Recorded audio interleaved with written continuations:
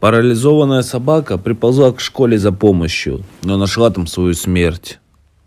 Парализованная собака искала помощь, так как она не могла из своего недуга найти еду и укрытие. Она пришла к местной школе, чтобы там получить заботу от человека. Вместо этого она практически подписала себе смертный приговор. Вся проблема в том, что директор учебного заведения не любит собак. Но бедолаге повезло, так как не все школы взрослых были такими – как управляющий. Работник учреждения увидел, что собаку закапали и позвонили в спасательную службу. Он рассказал о событии, которое произошло в учебном заведении. Спасательная бригада успела приехать вовремя. Собаку назвали Лили. Она еще была жива. Ее выкопали из ямы и доставили в клинику. При осмотре больницы выяснилось,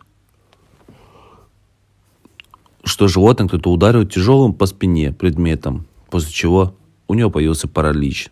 Также собака была очень истощена и худа, но это не мешало ей радоваться тому, что ее спасли. Ветеринары постарались сделать все, чтобы поставить животное на две лапы. Лили полностью доверилась своим спасателям, а они заботились о ней. После происшествия волонтеры смогли найти новый дом для собаки, но владелец не испугался паралича домашнего животного. Женщина продолжала заботиться о Лиле. Время текло, и животному сумели набрать нужный вес. Тело обросло мышцами, а процедуры помогли восстановить работу тела. Она уже могла бегать и прыгать и наслаждаться жизнью. Собака сейчас очень счастлива и дарит радость своим новым хозяевам. Спасибо за просмотр, подписывайтесь на наш канал, узнаете много интересного.